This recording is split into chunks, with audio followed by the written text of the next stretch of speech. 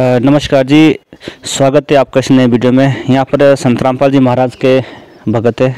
इनसे हम जानने की कोशिश करेंगे कि कौन है क्या नाम है कहाँ से आए। सर नमस्कार जी।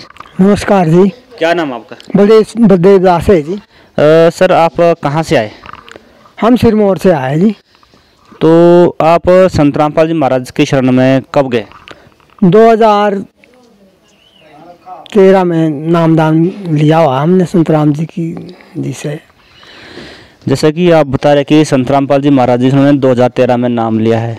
तो इनसे हम जानने की कोशिश करेंगे इन्होंने संत रामपाल जी महाराज जी से नाम दीक्षा क्यों ली? सर आपने संत रामपाल जी महाराज जी से नाम दीक्षा क्यों ली? महाराज संतराम पाल दास जी ने तो हमारे गुरु जी ने तो इतना ज्ञान दिया हमको जो इस पृथ्वी पर किसी ने उस ज्ञान को नहीं दिया जिसे हमारा जन्म मरण से छुटकारा पाके उस सतलोक का ज्ञान दिया परमात्मा ने हमको। और हमारे घर में सारी सुख सुविधाएँ आनंद से हम अपना जीवन जी रहे हैं जब से हमने ये भक्ति ली है परमात्मा सर थोड़ा सा आप जो आप आपको संत रामपाल जी महाराज ने भक्ति दी थोड़ा सा आप उसको थोड़ा विस्तार से बताएँगे संक्षेप में कि ताकि आपको इस टाइम लोग देख रहे हैं। उनको भी पता चले कि संत रामपाल जी महाराज जी का ज्ञान कैसा है। संत रामपाल जी का ज्ञान महाराज जी ये मोक्ष मार्ग ज्ञान है। यहाँ तो हमको सुख मिलेगा ही।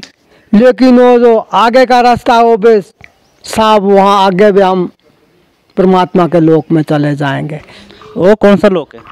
सतलोक है जी वो जहाँ सत्य का लोग उस प्रभु का लोग जो परमात्मा एक है वो प्रभु जो एक है उनकी शरण में जाने से हमारा जन्म मरण से छुटकारा पड़ जाए हम सतलोक को चले जाएँगे। सर आप जो आपको दर्शक देख रहे हैं उनके लिए क्या बोलेंगे आप?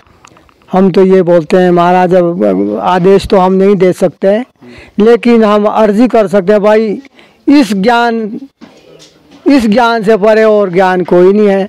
बोलो, और ज्ञान, सब ज्ञानड़ी कबीर ज्ञान, सो ज्ञान। जैसे गोड़ा तोप का करता चले मैदान। कबीर जी की ऐसा ज्ञान है, कबीर जी का जो ये तो बस इसकी भक्ति करने से तो बेड़ा पार हो जाता है जी। ये कबीर जी का जो ऐसा ज्ञान है। चलो। ठीक है सर आपका बहुत बहुत धन्यवाद। जैसा कि अभी हम संत रामपाल जी महाराज के भगत से अभी पूछ रहे हैं काफ़ी जानकारी बताई इन्होंने हमारे दर्शकों को। तो बने रहे हमारे वीडियो में आपका सभी का धन्यवाद।